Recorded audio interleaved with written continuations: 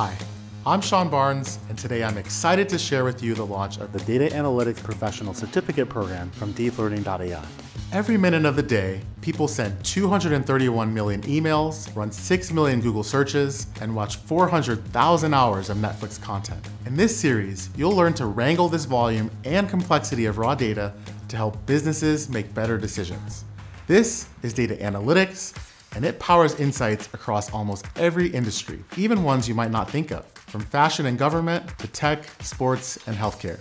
I'm a data analytics leader at Netflix, and I've worked as a data scientist in government, academia, and now the tech sector. This series of courses is designed to prepare you for an entry-level data analyst role, from no prior experience to leading your own end-to-end -end data analytics projects. And if you're already working as a data analyst or in a similar role, you'll likely learn novel approaches for leveraging data to advance in your career. Starting out, you'll learn what data is and the many forms it can take. Then you'll get hands-on with spreadsheets to calculate descriptive and inferential statistics, including measures of central tendency, variability, and skewness, as well as confidence intervals and hypothesis tests. Then you'll learn the fundamentals of the Python programming language, as well as how to use Python for analysis, data cleaning, and visualization using both pandas and Seaborn. You'll use SQL to connect with data in databases, creating powerful queries to select the data you need for analysis. Finally, you'll learn data storytelling, a skill that will set you apart in your role,